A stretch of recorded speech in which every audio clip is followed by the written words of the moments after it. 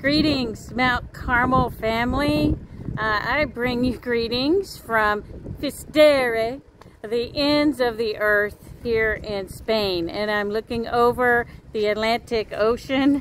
So I could swim home maybe. Uh, take me a couple weeks. But we have finished the Santiago de Compostela, the Camino de Santiago. And now we are here at the ends of the earth. St. James uh, is the first disciple to be martyred for his faith, but his assignment was to take the gospel to the ends of the earth, and he literally did that as Spain, this area, was considered the end of the earth. If you remember in Acts chapter 1, Jesus uh, is telling the disciples to wait in Jerusalem for the coming of the Holy Spirit.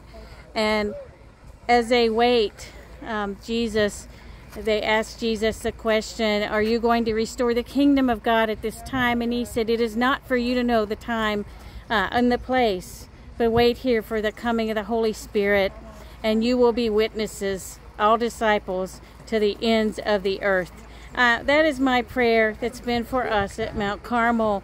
And you can see I'm wearing my Mount Carmel t-shirt um, today. It's a pretty emotional day for me because I believe that God has called us for a certain time and place uh, for us to be his witnesses and to not know any boundaries, to do this uh, in a way in which we exalt the Lord Jesus' name on high. So on this World Communion Sunday, um, we just want to pray that God's name would be glorified around the whole earth and that even in our own local community, we will be known as Christ's witnesses in all that we say and we do. I love you. I look forward to being with you, but I'm so thankful that Reverend Warren Miller is with you today. He knows about the ends of the earth as he has done many uh, mission work projects overseas. And God bless you, Warren and Patty. We are blessed to have you in our community as well.